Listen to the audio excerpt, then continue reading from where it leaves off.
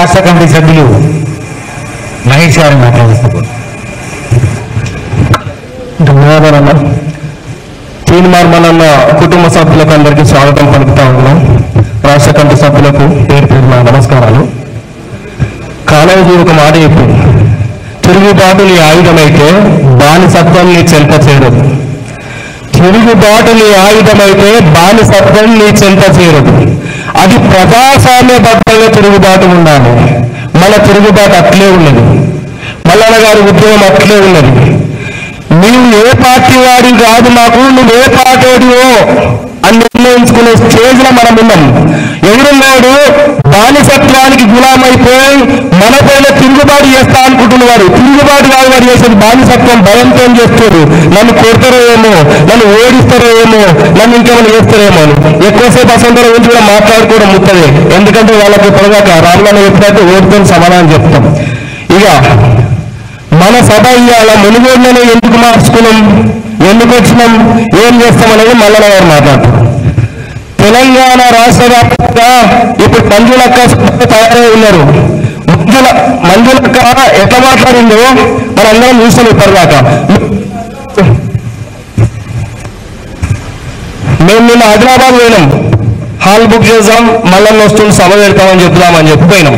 మాకు ఆఫీస్ నుంచి లిస్ట్ వచ్చింది పీడిఎఫ్. ఆ పేపర్ ప్రింట్ అవుట్ తీసుకున్నాం నాలుగు వేల మంది మెంబర్లు కొత్తగా చేయండి ఆన్లైన్ సరే కలుద్దామని చెప్పి అందరికి ఫోన్ చేసాం వారం కిందనే. ఒక గ్రూప్ పెట్టినాం పోయినాం. ఆడ జరిగిన చిన్న సన్నివేశం. మేము ఐదు వేల ఏరుకున్నాం ఒక టీఎన్జిఓ అని మాట్లాడినాం. ఆయన కోఆపరేట్ చేసిండు అన్న పర్వాలేదు మీరు పెట్టుకోవచ్చు చేసుకుని తుడుం దెబ్బ రాష్ట్ర ఉపాధ్యక్షుడు ఆదివాసీ రాష్ట్ర ఉపాధ్యక్షుడు అక్కడే ఉంటారు వాళ్ళు. ఎందుకంటే గోండ్రు జాతి గోరు కోసం పోరాటాలు ఎక్కువ నడుస్తారు ట్రైబల్ సొసైటీ ఎక్కువ కాబట్టి. వాళ్ళు వచ్చి పన్నెండు గంటల వరకు ముచ్చట్లు. ఒక ఆటో యూనియన్ ఆరు వందల ఆటో యూనియన్ ఆదిలాబాద్ జిల్లాలో ఉంది. ఆ అధ్యక్షుడు వచ్చి అంటాడు మేము ఆరు వందల ఆటోలతోనే ర్యాలీ తీస్తామన్నా. మేము పోయేటప్పుడు అనుకున్నాం ట్రైబల్ దాకా పోయినా అన్న? ట్రైబల్ దాకా పోయినా ఎవరి దగ్గర ఫోన్ ఉందో గాలి మాత్రమే చూస్తున్నా అనుకున్నాం కాదు మొన్న ఎమ్మెల్సీ ఎలక్షన్ నుంచి ఉత్తర స్టార్ట్ అయింది టీఆర్ఎస్ పార్టీలా? ఈ ముద్ర నడిచినాం మనం.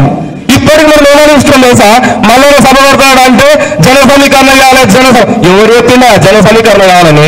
మా దగ్గర ఒక్కొక్కరు నాయకుడు లేడా? జనం కాదు నాయకుడు మా దగ్గర. అందుకే ఆరు వేల ఓట్లు తేడా కదా.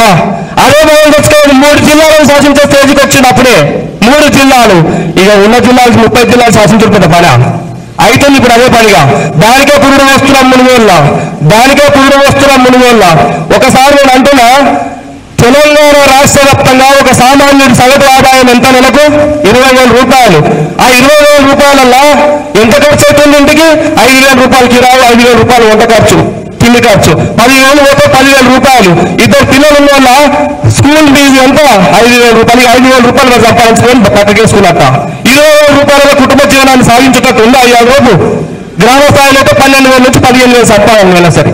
సరిపోతుంది అవును దీనికోసం మనం పోరాడుతున్నాం. ఉచిత విద్య ఉచిత వైద్యం మళ్ళీతో ఇంకొక ఐదు వేలు ఎక్కువ మిగిలితే ప్రభుత్వానికి తిరిగి ట్యాక్సీ కట్టేటువంటి స్టేజ్ మన వస్తారు. ప్రశ్నించే స్టేజ్కి ఒక ధైర్యంగా ప్రశ్నించే స్టేజ్కి మనకు వస్తారు. మాకు రోడ్ సాఫ్ లేదు మేము ట్యాక్సీ పేయర్స్ అని చెప్పి ప్రశ్నించే స్టేజ్కి వస్తారు. కానీ మనల్ని అటు రానియరు ఈ మాటలను చెప్పేటోళ్ళని లోపల వాడేస్తారు మళ్ళా నడుస్తుంటోళ్ళను ఎందుకు? చైతన్య పరిస్థితులు. ఇరవై వేల ఆదాయం వస్తే పర్ఫెక్ట్ లెక్కలు చెప్తున్నాడు. రేపు పొద్దున ఇంకేం చేస్తాడో మనల్ని మార్చేస్తాడేమో మార్చేసే విధంగా తయారు చేస్తాడేమో జనాలను ఇంకా తయారు చేస్తాడు లోపల దాకా వచ్చని ఆలోచన చేస్తారు. నిన్నటి దాడి ఎంత సిగ్గు చేయటది అందరికి ఎరుకున్న ముచ్చట్లే. ఇక నేను కొత్త మాట మాట్లాడుకోలే ముఖ్యంగా ఒక విషయం చెప్పదలుచుకున్నా.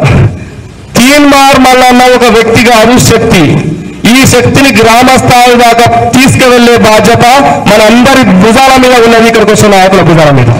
దయచేసి రేపటి నుంచి మన ప్రోగ్రామ్ ఒకటి పెట్టుకున్నాం ఎక్కడుంటే అక్కడనే. మనం ఫోన్ పట్టుకొని చూసుకుంటాం కదా ఇట్లా.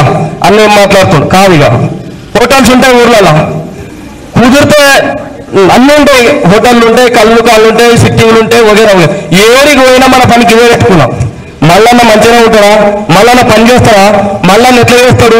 మళ్ళన్న ఆలోచనలు ఎట్లున్నాయి? మరి నిజంగా రేపటికన్నా రాజకీయంగా తను వచ్చి ఉంటే ఏమైనా వేయగలుగుతాడా దీనిలో చేస్తాను పెట్టిన ఊర్లలో ఇదే ఉంటానే ఫోన్లు పట్టుకొని అన్నీ ఏం చెప్తుండు ఏం చెప్తున్నాడు దానికంటే ముందు ఆలోచన ప్రజలకు ఎట్లా తీసుకోవాలో ఆలోచిద్దాం. మనం. ఆలోచిద్దాం అట్లా? ఖచ్చితంగా. ప్రతి ఒక్క ఊళ్ళో చర్చ కావాలి ఏ కూర్చుని నలుగురు కూర్చుంటే మనల్ని ముఖ్యం తీయాలి. మనల కోసం ఆలోచించాలి. ఈ రోజు అడ్వర్టైజ్మెంట్ జరిగితేనే ప్రజలు చైతన్యవంతమవుతారు. ఒకరే ఊరాలి ఒకరే ఊరాలి ఒకరే వేయాలి ఒకరిని పెట్టక ఇంకెంతసేపుగా మనం రావద్దా? పల్లెలుగా జై మల్లన్న! జై మల్లన్న! జై మల్లన్న!